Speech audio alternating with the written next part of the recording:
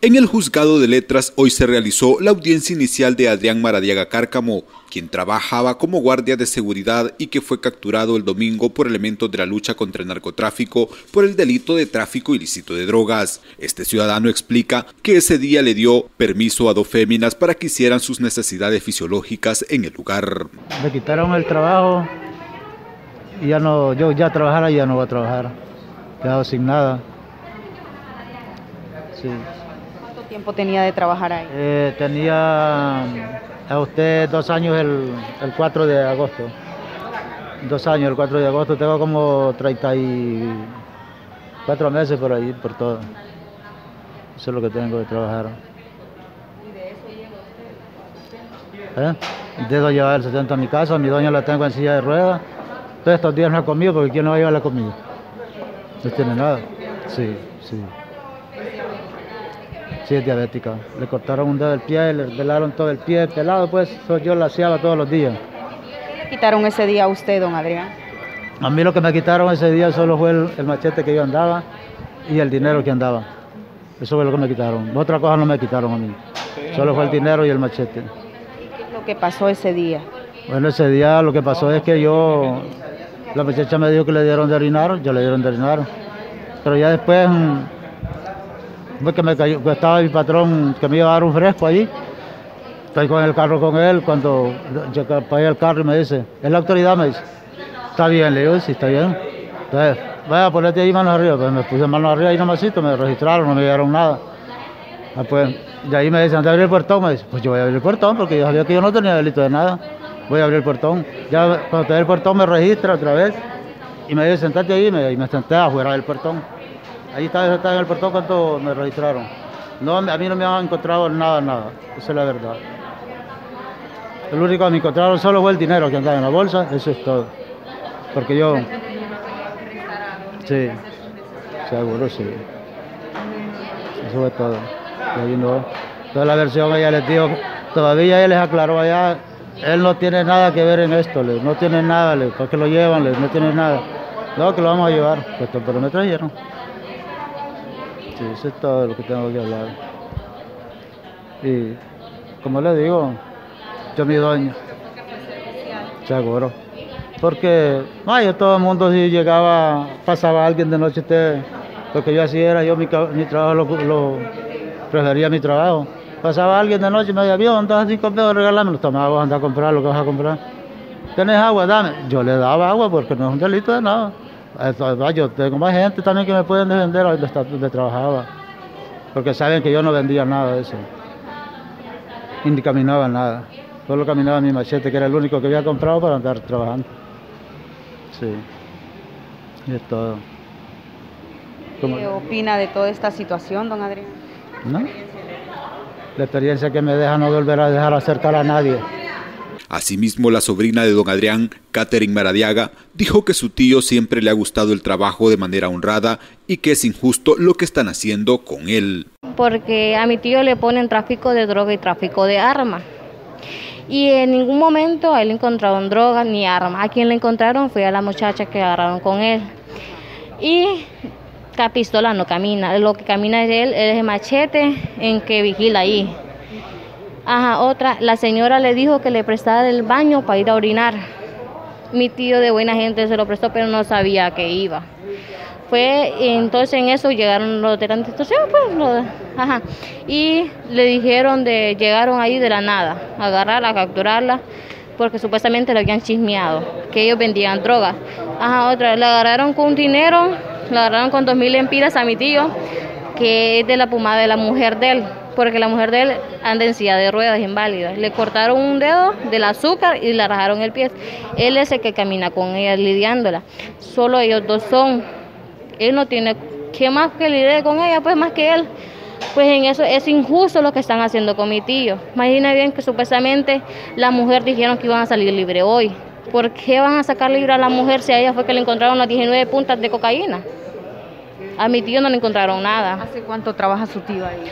Va a estar cuatro años, unas cinco. Eh, y él vivía en Concepción de María. Hace poco se vino para acá, tiene 10 años de venir aquí para Choluteca. Yo soy de barrio San Pile. Sí. Nosotros andamos ayudando, eh, la familia de él están afuera, yo y un hijo de él estamos aquí apoyándola a él. Porque no es, es, es injusto pues las cosas que le están cometiendo a él.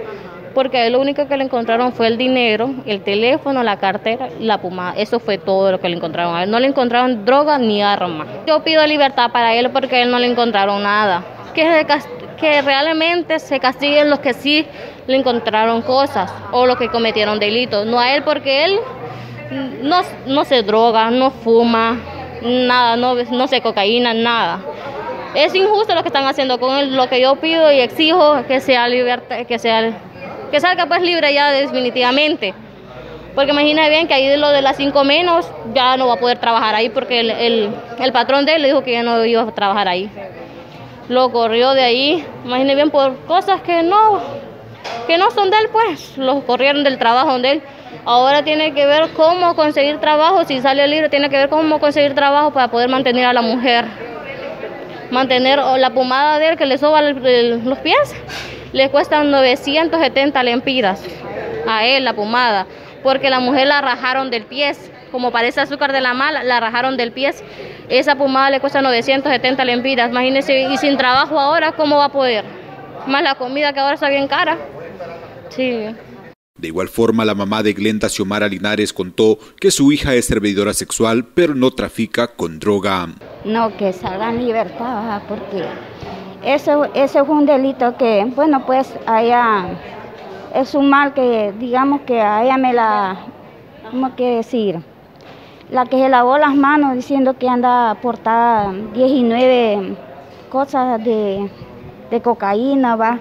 Y eso es mentira porque en mi casa en un momento ella nunca me llevó una cosa porque supuestamente yo tengo niños pequeños. Ella me llevaba a las 3 de la tarde, a las 3 de la madrugada, absolutamente, porque yo le, resista, le registraba la cartera en. Pero yo le pido a mi Dios, así como dijo Jesús, que el que se monta en la barca y el que se, la- el que se baja de la barca es pecado ante Dios, va, como dicen, va. Soy una señora, pues, que yo camino a mis cosas religión. Yo se lo dejo a la mujer que la fundió a ella, la, la trató, la, la denunció, como dicen. Así como ella lo hizo, pues yo no voy a criticar, no voy a hacer nada. Yo lo que quiero que mi hija quede libre, porque ella no consume nada de eso. Son a las 3 de la madrugada a la casa, yo le registro toda la cartera, lo que ella camina. Esa es una justicia lo que le han hecho. Y supuestamente el Señor no le hallaron nada. ¿Y, por qué le, ha- le hacen eso a él, a él y a ella? Ah, Pero yo se lo dejo a Dios, la- las dos personas que le hicieron ese daño a mi hija, pues se lo dejo a Dios. Solo eso, que ojalá primeramente las manos de Dios que salga hoy ella.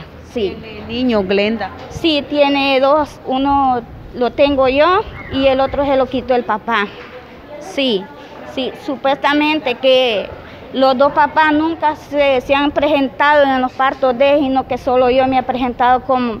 Ahí es, digamos que soy padre y madre y marido para él.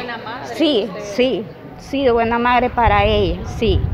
Y después de todo esto, y quizás si ella recobra la libertad, usted como mamá va a tratar de, de apoyarla y quizás que se aleje de malas amistades. Sí, no, no. Yo le he dicho que hoy no hay amigas ni amigos. Sí, yo es lo único que yo le he dicho a ella, que hoy no hay amigos ni amigas porque las amigas les hacen traición. Sí, supuestamente, tal vez a qué, tal vez, vaya, es como que yo le envidia a usted. Si usted se arregla, camina bien bonita, usted sabe los pretendientes que la van a buscar porque camina bien arreglada, no de, como decir, no despeinada. Sí, supuestamente. Pues ella, como yo le obligo, le ha dicho yo a ella, miren, sí, sí, exactamente.